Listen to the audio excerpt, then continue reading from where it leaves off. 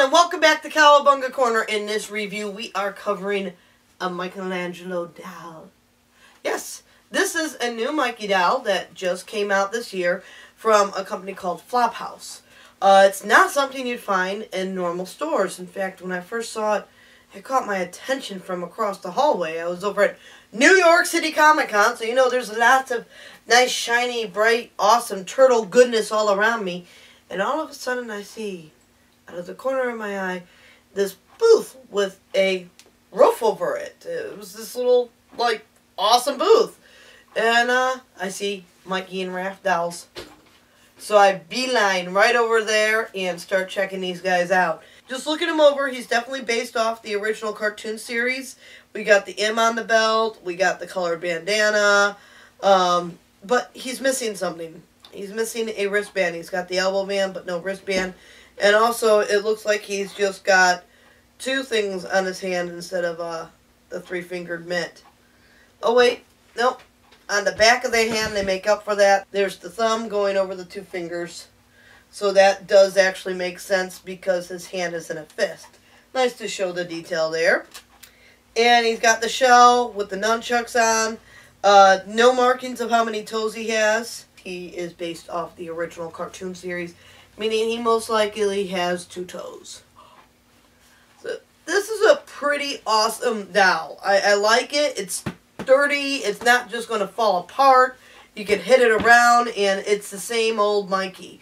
Um, it's not really all that posable, but it's nice for a decoration or even just having something to sit around and hold when you need something to hold, I guess. Um, I could see kids enjoying it, but it's not a stores.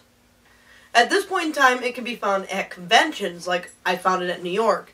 Uh, they also had t-shirts, and when you buy a t-shirt from this company, you actually get a pizza box, Ninja Turtle pizza box, that has the size marked on it, and it has the turtle's face on it, and the coloring, and it's pretty cool. Uh, I like their different styles of shirts and everything, but I, I really, really did fall for the dolls. I, I wish I could have got both turtles I hear they have all four, but I haven't seen Don and Leo yet. I really do like their styles, and I found out something. Starting on December 1st, 2014, they will have them for sale on a website, which is www.flophouse.com. So if you're looking to get your hands on these awesome new Ninja Turtle dolls, then go there this December. This is what I'm talking about. Some pretty awesome stuff. And if you're looking for a gift for a Turtle fan who loves the classic series but has everything that you know of, it's not in stores yet. Don't know how many Turtle fans have it. So check it out. It would make great for a birthday or Christmas gift, seeing as the holiday seasons are approaching us.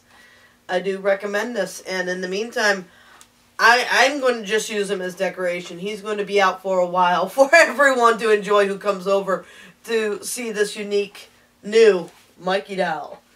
And it does have the Flophouse tags on there. It does say Nickelodeon. It is an official product.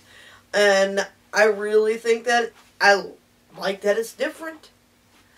It's different, it's simple, and it's enjoyable. We will catch you here next time on Cowabunga Corner Reviews as I bring out many more toys to show and definitely have more awesome items like this which you can't just normally find in the stores. Hopefully, these will make it to the store someday because they're pretty cool. Catch you next time.